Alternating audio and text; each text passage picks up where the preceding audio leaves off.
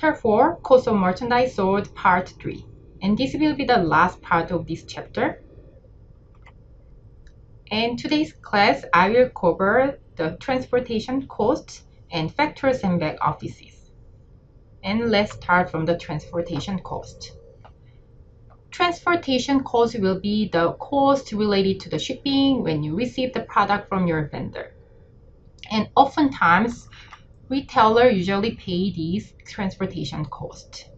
And these transportation costs are considered part of the cost of merchandise because this is gonna be the cost involved when you purchase the product from the vendor and these must be covered in the retail price. So when you calculate your retail price, you really need to consider this transportation cost and other related costs for your retail price. And buyers can actually request types of transportation, like what kind of carrier they want, like fast or like uh, slow is okay, but the, depending on the price and so on. So you can kind of determine what types of transportation carrier you want to have. And to understand this transportation cost, you have to understand this concept of the FOB. And this term will be something that you receive from your invoice. This FOB indicate free on board or it can also be freight on board. So it's F-R-E-I-G-H-T. So freight on board or free on board. And this refers to point where ownership of merchandise transfer and this also refers to point where responsibility of shipping expenses transfer. So two important you know, points about this FOB. If you see this term in your invoice, you can tell who has the ownership or the responsibility about the merchandise and or who will pay this shipping. So let's look at the first example of this FOB. It can be FOB factory, also called as FOB origin. So if you see this term like FOB factory, FOB origin, that means that buyer takes title from the factory. So once it leaves from that factory, the buyer takes all the responsibility as well as the transportation charges. So that means that buyer takes title of the factory. Also, any loss will be responsible by the buyer and also buyer pays all the transportation costs. And this is most common arrangement between the vendor and the retailer. And so if you see this FOB Chicago, and FOB factory and FOB origin, that means that your manufacturer is in Chicago and all these responsibility related to the title and the charges will be part of the buyer, not the vendors, right? So you think about this. So you, what you see right next to this FOB will determine who's in charge about the responsibility about the title or for the transportation charges this can tell you. And the next example is gonna be FOB destination. So that means that until you get the product for the final destination the vendors will pay or the transportation cost and vendors will keep this title of the merchandise until it arrives to the final destination so FOB destination. So if you see FOB Houston as a FOB destination, that means that that Houston is gonna be the store location or this like a warehouse of the store.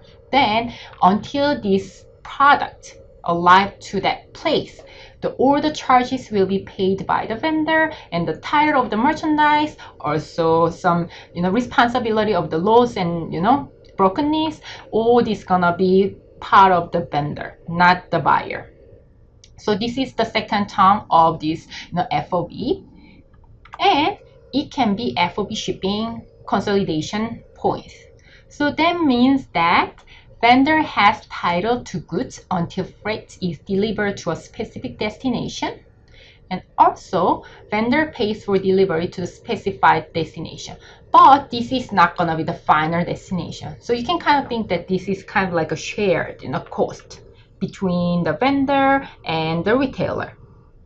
And usually destination is the retailer's warehouse or the distribution center. And then from there, they will go to the, you know, actual retailer store. But that point, you know, vendor is, is not, I mean, vendor does not, you know, involved with this like a title or the payment. So once received at the distribution point, the retailer takes title and pays for further transportation costs. So that means that, you know, this cost kind of like shared by the vendor and the retailer. So this FOB shipping point is different from FOB factory and FOB destination. And you can more think that as a kind of a shared you know, cost about the transportation cost between the vendors and the retailer. And FOB destination charge is reversed. So as is, you can see, you already know the FOB destination, right? So this means that vendors owns goods until they get to the buyer's designated point. So therefore, the final destination, vendor owns the goods, and actually vendor may pay the first, you know, that the payment. But what's gonna happen? This charge to be paid back to the vendor, and that means that buyers pay this transportation cost. So until it arrives to the final destination, who's in charge of the title for the you know product? It's gonna be vendor, right? But who's gonna pay the transportation? That's gonna be the buyer. So if there's like any problem with the product or any loss of the product will be, I mean, given to the vendor, not the buyer. But once again, transportation costs will be paid by the buyer. So you see the differences among these different FOB terms, right? So that's really important because that's how you're gonna determine your, you know, transportation charges and who's in charge of the title and who's in charge of the loss and so on. So this is really important concept to understand. If you're in the retail field and when you buy the product, you have to understand this concept. And now I'm going to introduce two different like uh, format of the I mean companies, firms that's addition to the vendors because I mean these are not going to be directly related to your like purchases and so on but I want you to understand about this additional you know I mean the the company format working closely with the vendor. The first one is going to be the factors. So this is the financial firm or institution that assists the vendors by acting as a credit or you know collecting the department. So for this case, I mean that the, the vendors, so because you're buying the product from your vendor and for your like a payment and so on, vendor also need to get your, I mean the, the reason. They want to get the payment from you, from the retailer on time because they also need to pay for their I mean the supplier, such as if that's the operator, you know, company, they also have to pay for the fabric company or any other, you know, material production and also they had to pay for their workers and also they had to cover other overhead expenses such as other you know indirect expenses.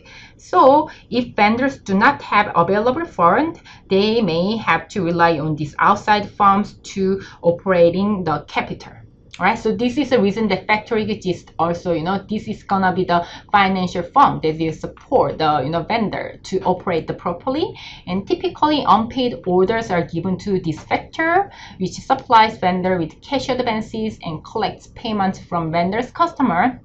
And you will also will know this factor will willing to will be willing to take the risk because they charge a premium interest rate and a fee. So even though they kind of assist or like support for the financial wise, so if they don't really pay back on time to the factor, there'll be like a premium like interest to pay, right? But then you also see the needs of this factor for the vendors as well, right?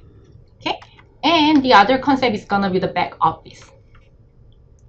Back office, they have, you know, and to eliminate or reduce some of the overhead costs of running businesses.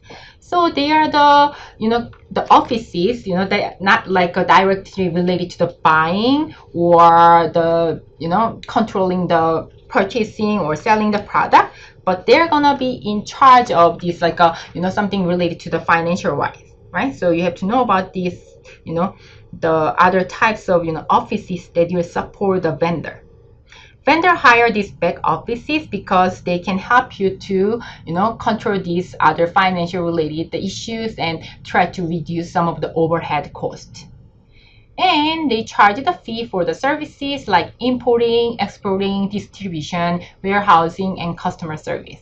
So what you can see from here back office is more like the supporting company. It's more like a you know working for administrative work or the financial work.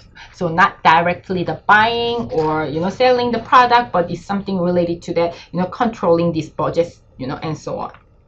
So this is really important. I mean, like you know, to understand because these are some additional like a form format that you can think about. You know, also the reason I mentioned these two different types of you know company. I mean the I mean the factors, the firms and offices is because you know you're a vendor so when you make a payment to your vendor your vendor also need to make a you know payment for their other suppliers and also they have to pay their own employees. So it's always good that everybody can make a good you know promise and you know, if they can keep those promises right? But then otherwise if there are like in some financial issues and you also have to know there are like other formats you know that they can support these vendors and so on and negotiation for other services. So addition to the other concept that you learn, you you know about the negotiating with the vendor, you also you can you know for other services you can negotiate with your vendor. As a buyer, negotiate for services provided by the vendor and something like you know so you can get some additional you know support for packaging you know or you can get the support for some kind of you know their you know point of sale i mean the purchase you know selling you know aids and they can help you too like for the labeling or the advertising fee and so on you can get some like additional support other than this like a discount that you learned in the previous you know time so that's really important because also this will assist the buyer in improving the profit margin. Because for example, if you your vendor provides you these like a packages or if they pre-ticket the pro- I mean product or they pre-labeled you know the product then they will help you. You don't have to spend money to buy these hangers and stuff. So that's gonna be the I mean that's gonna be also helpful for the buyer to improve the profit margin. And let me give you these examples of negotiable you know services. These include packaging of merchandise for resale to retailers customer and pre-ticketing, labeling, and loss prevention, and cooperative advertising money, monetary reimburse for markdowns, confinement, and exclusivity of merchandise, and consignment selling, and point of purchase selling aids, and vendor participation in store promotional you know, events. So I already mentioned about the packaging, you know, this definitely help you to reduce the cost for packaging for the product and pre-ticketing, labeling, and loss prevention as well.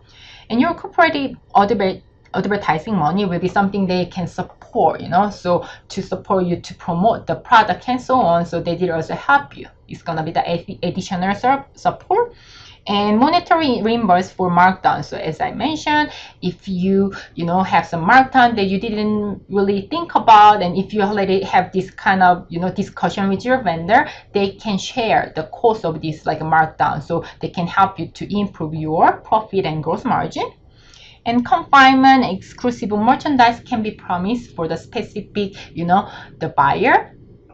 And consignment selling means that return of the merchandise which is not sold. So that means that they promise you if something is not sold, if you have like really good you know relationship with your, your vendor, also there's something that can be negotiated, you know, additional service so you can return this product or you can get other products, you know, other than that, or you can get the money back and so on. So there's gonna be the consignment selling.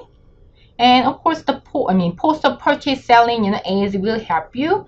And such as you know poster fixtures or brochures you know provided at the point of the purchase will be the part of the support that you can get from your vendor. And vendor participation in store means that maybe that if the designer you know has some kind of you know selling their product in the store they may come and they personally appear in the store and kind of help you for this promotional event that's gonna be also one of the support you know service that you can get from your vendor Okay, that's pretty much it for this chapter. And let's just kind of briefly review what you learned this chapter. So we start to talk about the negotiation. Because when you talk about these, you know, cost of merchandise sold, it's really important to negotiate to maybe get the better, you know, price and better, you know, services. So we learn about, you learn about this negotiation and discount that you can get. You learn different kinds of discount that you can get depending on maybe quantity or, you know, because of the payment you made so early, you can get some cash discount and so on. And you learn the dating. So there's a part of that, you know, related to your payment and cash discount and allowances. And you also learn transportation costs as a part of cost of goods sold. And you also learn the factors and back offices as the supporting you know company and the offices for your vendor. So that's it for chapter 4 so uh, hope you know I mean, now you know about this one, you know, component of your Beijing merchandising factor, which is the cost of merchandise sold, and that's gonna be the big budget plan for your company once again because you really need this product and you can actually really make a profit out of this uh, cost of i mean the merchandise that you purchase. So it's really important concept so i want you to remember this and that's it for chapter 4 and i'll see you the next time for chapter 5